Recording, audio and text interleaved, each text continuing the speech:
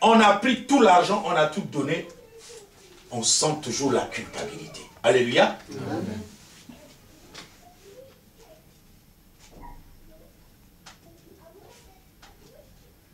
Mais quand ce message-là sera bien diffusé, les églises se videront. Dira, là il y a la vérité. Ils viendront. Et ils auront encore d'autres tonnes de scuds spirituels. Parce que l'homme fuit devant le Seigneur. Normalement, aujourd'hui, les prédications disent Que ferais-je de Jésus de Nazareth? Ils ne savent que faire de Jésus de Nazareth aujourd'hui, frère.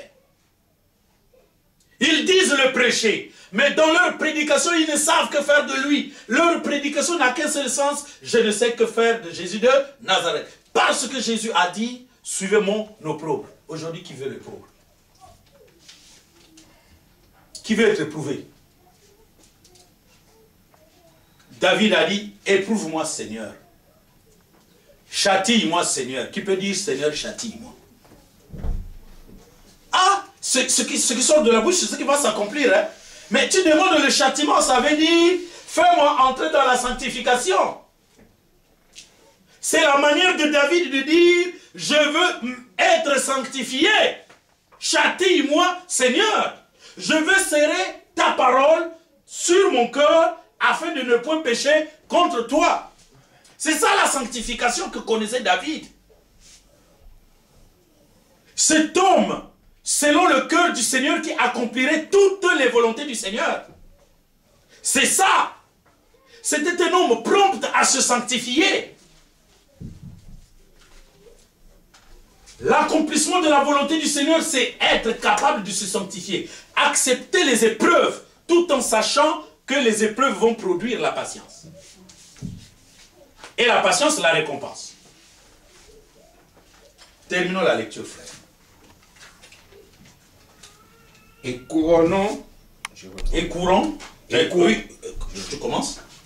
Nous donc aussi, puisque nous sommes environnés d'une si grande nuit de témoins, rejetons tout fardeau et le péché qui nous enveloppe si facilement. Donc la sanctification, c'est la discipline spirituelle par laquelle nous devons rejeter tout fardeau et tout péché qui nous environne si facilement. Les fardeaux, ce sont nos problèmes. Alléluia. Écoutez-moi très bien, frère. Je sais que tu es en difficulté. Mais en tout cas, tu dois apprendre de prendre ta difficulté et de la déposer devant Christ. Ce que les gens ne peuvent pas faire. Il n'y a que toi qui dois expérimenter ça. Moi, je te le dis, je ne peux pas le faire à ta place. Tu dois travailler ta confiance de telle sorte que je ne sais pas si ce sera en priant, je ne sais pas si ça sera en jeûnant, je ne sais pas si ça sera par des actions de grâce, mais en tout cas, que tu parles avec toute confiance au Seigneur, que tu lui dises ton problème et après, que tu vives comme si le problème n'est pas. En toute confiance.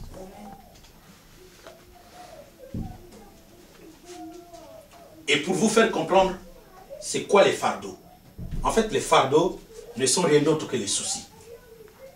C'est quoi les soucis? Les soucis ne sont rien d'autre que les convoitises charnelles, les convoitises des yeux, les convoitises de la chair. Qu'est-ce qu'un souci?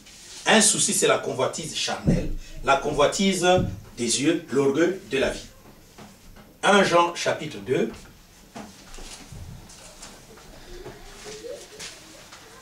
15 à 17, n'est-ce pas, On va définir le souci. Et en même temps, on va prendre Luc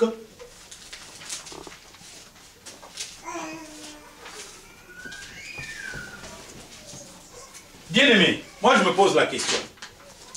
On voulait arriver en France, on est arrivé en France. Étant en France, on veut encore convoiter. Attends. Au pays, qu'est-ce que les gens disent de toi? Que tu es riche. Mais toi qui es ici, ça ne te suffit pas. Tu es honoré au pays. Tu arrives ici, tu veux devenir comme une blanche. Frère, franchement, ça, je ne peux pas comprendre ça dans ma tête. Nous sommes tous ici plein de têtes, des charges, oui ou non? Oui. Mais au pays, on dit qu'on est riche, on est glorifié. Nous sommes la fierté de nos familles. Ça ne nous suffit pas. Non, on doit bien expérimenter ça. Tu ne vas pas t'enrichir chez les autres. Ici, là, on ne s'enrichit jamais à l'étranger. On s'enrichit sur la terre de sa propre bénédiction. Retenez-le. C'est pourquoi, quand le blanc vient voler en Afrique, il retourne développer son pays. Parce que son pays, c'est la terre de sa bénédiction. Frère, ce sont des lois spirituelles.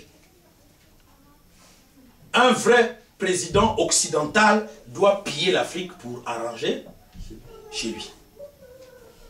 Un vrai président africain doit piller l'Occident pour enrichir chez lui. C'est ce que nos chefs d'État ne font pas. Ils pillent pour prendre les richesses et les ramener ici.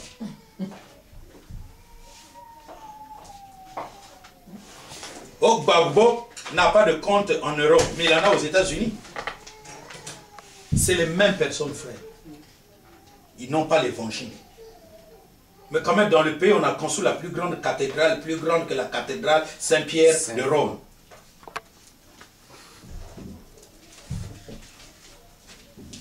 Ce sont des choses qu'on ne peut pas comprendre. Mais nous comprenons la vanité du monde. Lecture, frère. Je suis en train de préparer le texte de Luc 20. 1 Jean 2, 13 à 17. Lisons la parole. Mhm. N'aimez pas le monde, mhm. ni ce qui est dans le monde. Mhm. Si quelqu'un aime le monde, l'amour du Père n'est pas en lui.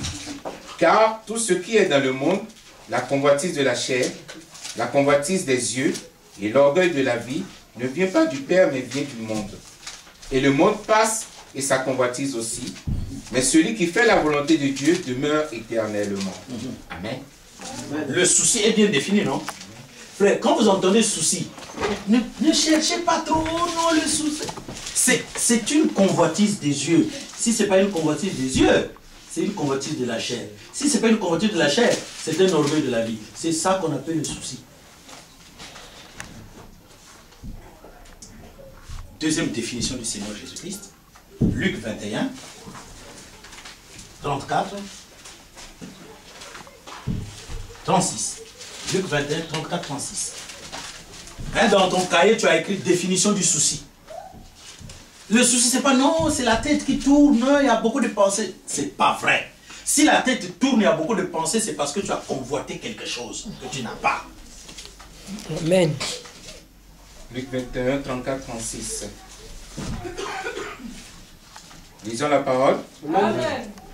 Prenez garde à vous-même de craindre que vos cœurs ne s'apesantissent par les excès ou l'ivrognerie et par les soucis de la vie, et que ce jour ne fonde sur vous. Le problème de notre Seigneur, hein, ici, il voulait tout simplement dire que les excès de manger et de boire, c'est les soucis de la vie.